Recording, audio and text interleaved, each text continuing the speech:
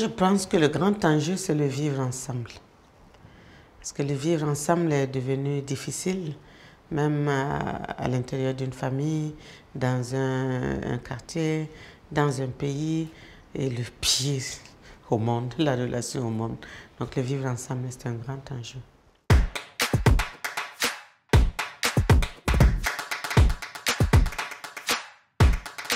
Je pense qu'il y, a une euh, paupérisation de l'environnement, des humains, euh, de la nature, de, tout. Et donc il y a un accaparement dans une, infime minorité euh, de la planète de, personnes au détriment du grand nombre.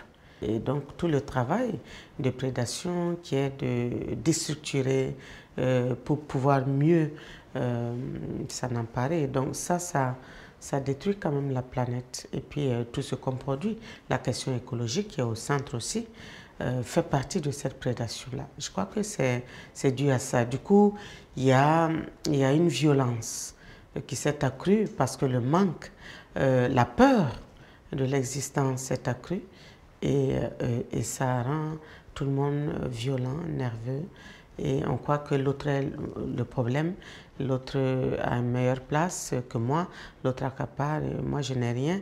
Euh, quand l'autre est bien, c'est de sa faute euh, que je ne sois pas bien. Donc il y a un, climat général comme ça qui est dû à, à ce que j'ai nommé tout à l'heure.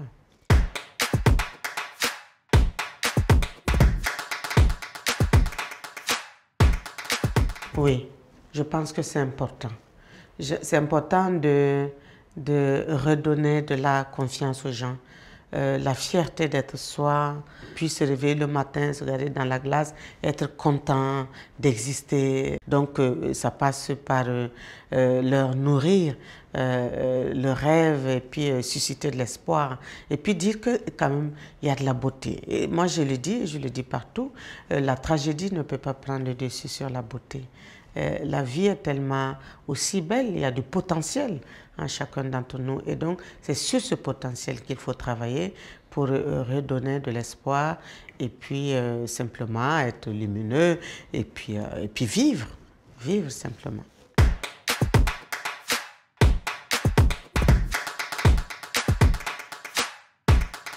Alors, les récréatrales, ce sont les résidences panafricaines d'écriture, de création et de recherche théâtrale. Ça a été créé en 2002 par Étienne Minungu, euh, que je salue au passage. Et euh, dix ans, euh, c'était implanté un peu dans les salles, les espaces de création à Ouagadougou. Et dix autres années, donc en 2012, ça s'est implanté dans le quartier de Buxom Tenga. Et mieux, ça a fait de ce quartier un théâtre à ciel ouvert, un grand laboratoire de recherche de création et de réflexion, parce que les cours, les familles, ce que nous appelons les cours, c'est qu'il y a la, bâtisse, et puis il y a un grand mur, et puis un espace de vie. Donc ces espaces de vie-là euh, deviennent les théâtres en tout cas en un bon temps record, euh, sur toute l'année, selon les créations, mais pendant les résidences euh, proprement dites euh, avant la plateforme festival, qui se passe tous les deux ans, dans les années paires, fin octobre, début novembre. Voilà, c'est ça, les, les, les récréatrales. Donc, c'est pour nous un moyen d'être dans le lien social, amener l'art dans la cité, au cœur de la cité, et à travers l'art, euh, dans tout ce qu'on vient de dire, euh, qu'ils s'en emparent et que l'art ne soit pas loin d'eux et que tout le monde peut le pratiquer pour soi-même. Pour, euh, je pense que aussi c'est une thérapie pour soigner soigner par la parole la beauté de la langue. La langue ici, c'est pas la langue, je sais pas, moré, djoula, français, anglais. Non, la langue, c'est toute la poésie que euh, les, voilà, nous portons euh, dans notre métier.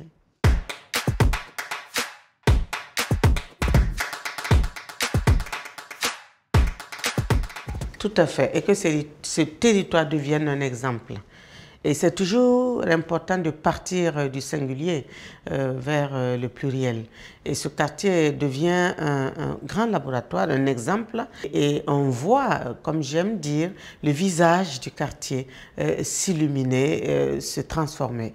Et, donc oui, ce territoire-là devient notre territoire aussi. On ne vit pas là, mais on y travaille et le projet de l'éclatral devient le projet du quartier. Vraiment. Et euh, nous vivons au rythme du quartier, c'est-à-dire les joies, les peines des gens. Nous sommes là, présents. On est là tous les jours. Et, euh, puis, on partage aussi euh, la création, le geste artistique, j'allais dire, ensemble. Donc, la notion de territoire me semble importante.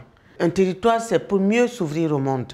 Après, je peux sortir dans le monde voir, mais je reviens toujours là parce qu'il y a des valeurs qui me rattachent à ce territoire, parce qu'il y a une histoire, il y a une mémoire, il y a un travail qui me relie à des gens euh, que j'aime bien. Voilà, je ne peux pas les abandonner. Donc, on peut sortir et revenir. Euh, quand on sort, on reviendra toujours. Un exemple. Il y a des jeunes de ce quartier, euh, Aristide a travaillé depuis deux ans avec eux euh, pour qu'il il joue. Euh, euh, le, spectacle d'ailleurs s'intitule Le quartier. Mais ces jeunes-là n'avaient qu'un rêve, partir. Et, ils cherchaient tous les moyens. Mais quand ils ont commencé à travailler avec Aristide, les ateliers hebdomadaires tout au long de l'année, pendant deux ans, et à créer ce spectacle, qu'ils ont joué aussi à l'intérieur du pays, au Burkina, ils ont compris il y, a un, il y a des vocations qui commencent à naître. Il y a un qui s'est inscrit au CDC La Termitière de Salia et Sédou, aussi que je salue ici.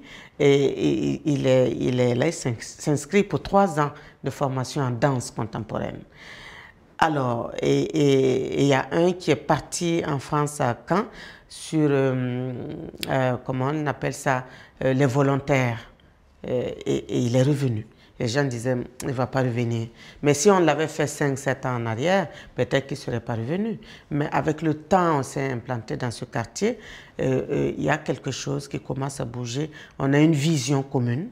Et, voilà. Donc, euh, nous, nous sommes très, très, très, très ravis de ça. et voilà.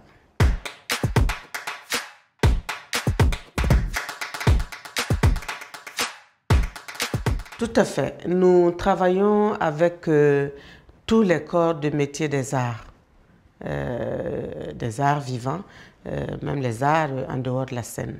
Nous avons des peintres, nous avons des chorégraphes, nous avons des artistes musiciens, des chanteurs, des vocalistes.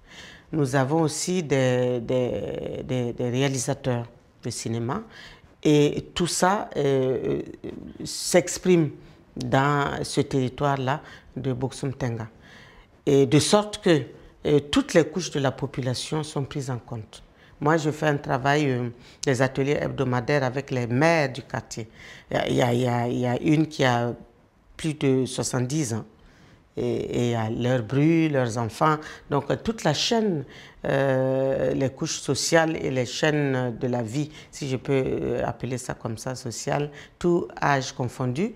Travaille avec, donc, comme j'ai dit, Aristide travaille avec les jeunes et euh, pendant le, festival et maintenant même en amont, nous faisons appel à, d'autres artistes qui travaillent beaucoup dans le jeune public à, à, prendre en compte aussi l'espace jeune public.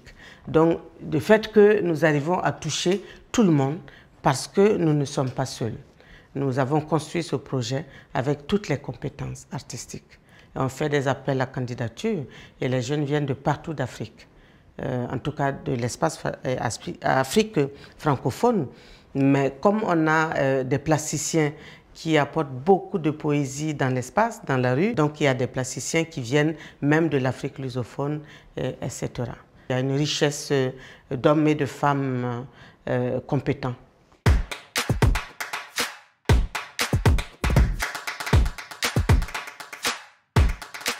Tout à fait pendant la plateforme festival et nous avons un nouveau projet. Euh, voilà, ça n'a pas commencé, mais on va le commencer, on va s'intéresser aux écoles. Mais en tout cas, pendant la plateforme festival, nous avons aussi un espace de lecture, découverte de, de jeunes talents, de jeunes auteurs. Donc il y a un appel à candidature, en tout cas à texte, Ils envoient les textes, souvent on reçoit près de 40, 50 textes, on lit, on choisit trois et, on prend le prix RFI de l'année qu'on intègre et on lit quatre œuvres chaque matin. Pendant la semaine du festival, il y a quatre jours où on lit des textes tous les matins et on invite les écoles qui sont autour dans le quartier euh, à venir sur. Et donc on a toujours une foule de, jeunes lycéens qui viennent euh, écouter euh, des, des, œuvres. et c'est extraordinaire.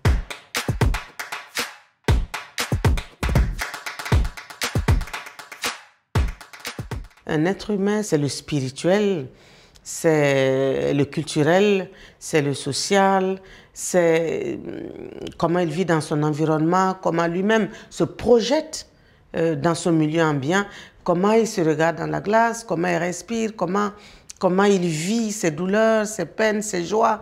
Euh, c'est tout un ensemble. Et bien sûr, les maillons forts, c'est la culture euh, que nous portons et, et c'est aussi l'économie, il ne faut pas l'oublier. L'économie est déterminante. Si quelqu'un euh, a faim au quotidien, il ne peut pas penser.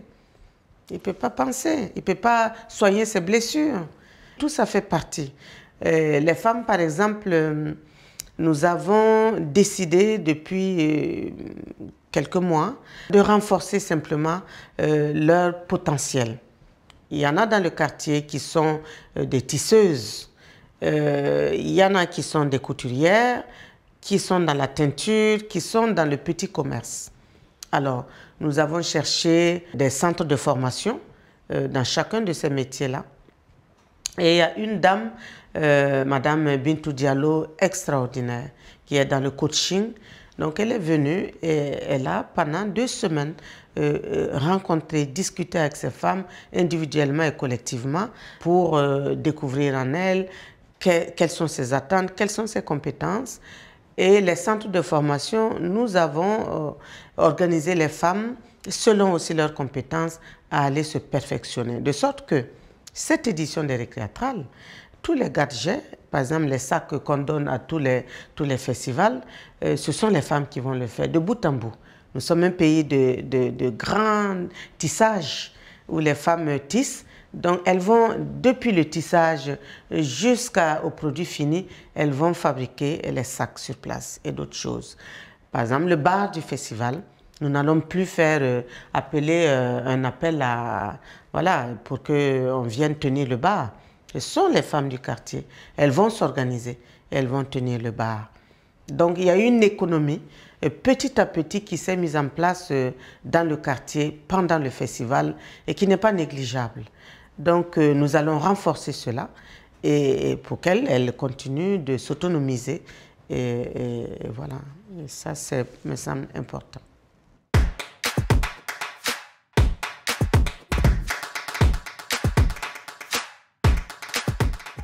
Oui, je pense que l'art peut être un vecteur, euh, peut être central, parce que la démocratie, c'est dommage parce qu'elle a été beaucoup politisée. La démocratie, elle existait dans l'Afrique euh, ancienne. Dans le XIIe siècle, quand on prend, il y a eu des, recherches au Mali, euh, il y avait une grande démocratie, même dans nos différents pays, euh, dans le monde entier. il y avait la démocratie. Prenons la charte du Mandé depuis ces siècles passés.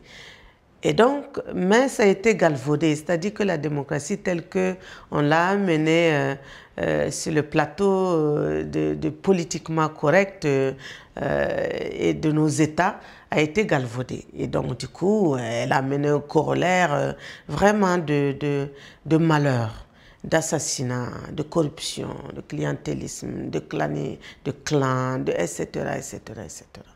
Et donc cette démocratie-là, nous continuons à... Et même les démocraties, les grands pays de démocratie, on a vu, hein, les pays occidentaux, euh, c'est une démocratie en perte de vitesse. Comme l'art crée d'emblée le lien, l'art, c'est pas l'intellect. L'art, c'est pas mathématique, c'est pas scientifique. Ça passe par les ports, ça passe par euh, l'émotionnel. Et tout de suite, ça nous réunit. Et je crois que l'art peut être vraiment euh, un maillon fort pour, pour nous renouer avec cette démocratie ancienne, cette démocratie qui met les peuples au cœur de la cité et de l'organisation de la société. oui, bien sûr, bien sûr. L'art, c'est le moyen sublime et sublime.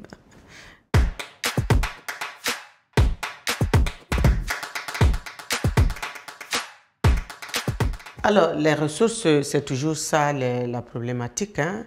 Les ressources, nous essayons de plus en plus d'intéresser notre pays à cet événement. Nous ne sommes pas les seuls. Donc, on a une plateforme comme ça d'événements et de groupes euh, artistiques. On a une plaidoirie qu'on a adressée à, notre ministère et qui va le, voilà, qui va le, à qui de droit, hein, qui va euh, l'intéresser à qui de droit pour prendre en compte nos événements, pour pas qu'on soit toujours en train d'aller chercher l'argent glané, parce que c'est beaucoup, beaucoup d'efforts. Beaucoup d'efforts. On a beaucoup de, projets euh, allant dans le sens, euh, en lien avec la, population, les communautés, mais nous n'avons pas le temps ni les moyens de le déployer. ce qui fait qu'on perd beaucoup d'énergie à chercher, à, recommencer à chercher les financements. Et ça, c'est, je ne sais pas comment qualifier ça, c'est fatigant et c'est épuisant. Donc, nous, en tout cas, nous un lobbying, un travail pour que nos pays s'y intéressent, en tout cas un pays comme le Burkina, puisse inscrire un certain nombre d'activités, d'événements dans le budget national. Donc voilà, il y a ce travail qu'on fait. Bon, c'est difficile, mais on ne lâche pas prise. Sinon, on va chercher dans les chemins classiques hein, euh, d'institutions internationales aussi qui s'intéressent euh, à, la culture dans nos pays et qui, euh, voilà, qui, qui, permettent qu'on ait accès à ça.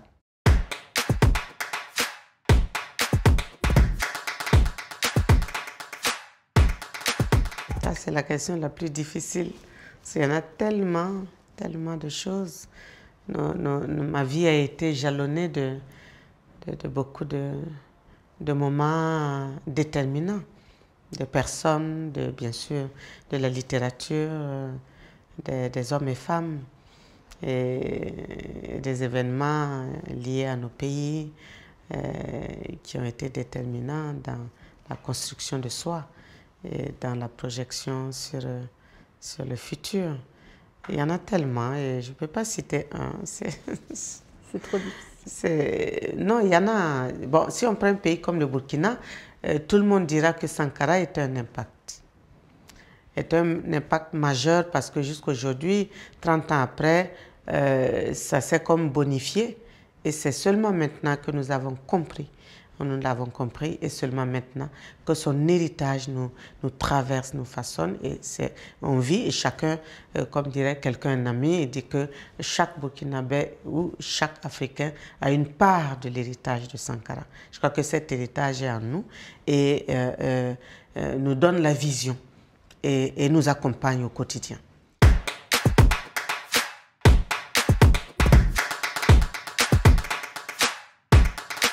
Ben, cet héritage, déjà, c'était la fierté d'être soi, d'être noir. N'oubliez pas, on ne va pas aborder la question ici, ce n'est pas le propos. La question du noir, plus que jamais dans le monde, euh, euh, s'améliore pas, est plutôt dégradant. Donc lui, il a travaillé à nous donner la fierté, la fierté d'être soi. Et euh, à partir de notre potentiel, à, se prendre en charge, avoir un visage lumineux avec le monde. Je crois que ça, ça c'est important quand même. Quand l'être humain euh, euh, est fier de, de, lui, il peut faire des miracles. Mais quand on, on, a un regard euh, misérabiliste, un, regard dégradant sur soi, je vous assure qu'on on courbe les chines à tout moment, on baisse la tête, on, on s'enfonce et on s'enlise et on meurt. Voilà. Et donc, je crois que ça, ça, ça c'était important. Et puis, euh, et puis la culture. La culture était transversale dans son projet politique parce que c'est ça qui nous définit, qui nous détermine. Et je crois que euh, le Burkina est considéré comme un pays de grande culture et de création. on a des artistes dans tous les domaines, mais vraiment d'un talent, d'un talent d'une force. Et donc, je pense que ça vient aussi de là, de cet héritage de Sankara. Euh, voilà. Donc, je peux parler de lui et beaucoup d'autres choses. Il y a quelqu'un comme Felwin aujourd'hui, je l'adore. Il y a, y a Leonora Miano, il y en a plein, plein, plein sur le continent. C'est Serge Koulibaly dans la danse, Salia Sanou, Sedou Boro. On peut les citer à perpète et, voilà. Il y a trop de choses.